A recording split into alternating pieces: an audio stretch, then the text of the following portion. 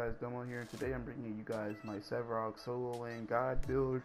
Now um, let's look at the gems. We have auto health potion, fast travel, life steal, healing towers, mana reactor, and damage return. Now for the cards we have Cold of the Week, Exoskeleton, Flame of Szech, Green Spring, Growth Totem, Vile Stepper, Wound Seeker, Numbing Rogue, Trapper, Unbroken Spirit, one of the tribe, and Vampiric Blade. Now, early game, I like to start off with a healing towers and put an opponent to exoskeleton so I, I can sustain in my lane longer if the enemy wants to keep hitting me every once in a while. Uh, then I like to back and get cold of the week, or if it's like I'm fed and I can go back, I can get my growth totem or green spring. Um, I like to build towards Vile Stepper because most likely I'm gonna take out my off lane uh, tower first before the enemy can take out mine, and then that'll allow me to push my lane up and then start uh, making gank attempts into other lanes. Um, if the enemy has like a Chimera or somebody, I like to uh, run this card, Wound Seeker, because it applies Blight, and Blight reduces the healing um, the enemies will receive. So you know, like a Chimera or a Rampage won't be able to heal as much if you're hitting them. Um, numbing Rogue, enemy units have their attack speed slowed by 20%. I like this because you know it slows their attack speed and Hang on. And you know you get 300 health and 36 basic armor. Um, Trapper again a really really good card in the growth in the growth affinity. Um, it allows you to root enemies that you hit um, 10 times and then root them. Plus you get 15 power and 32 attack speed. Really good for uh, confirming kills and stuff. Uh, Unbroken Spirit is a really good card for if your enemy team has a lot of CC. You know you can heal up that damage that you're taking. It, it, helps out a lot. You might, some people might not think it does, but it helps out a lot. Uh, one of the tribes also a really good card because Sevarog is a frontline tank, and you want to be, you're most likely to always be with at least one or two team members when you go into a fight. So having this card on is really good because you get 30, uh, 22 power, 420 max health, and 15 power for each nearby ally hero. Now, Vampiric Blade, this is the card that I keep on at the end of the game. So it'll even be Growth Totem, Vampiric Blade, one of the tribe, Growth Totem, Vampiric Blade, Trapper, or Growth Totem, Vampiric Blade, Numbing Rogue, or Wound Seeker. But Vampiric Blade and Growth Totem are always going to be in my in-game deck because I like having a 12 power, 20 attack speed, and 240 max health.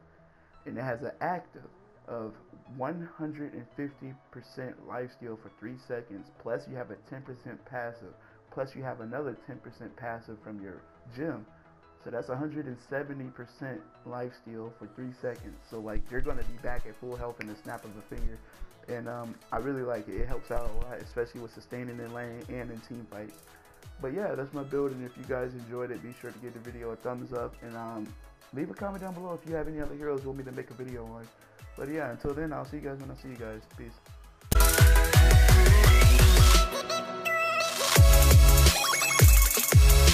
Oh.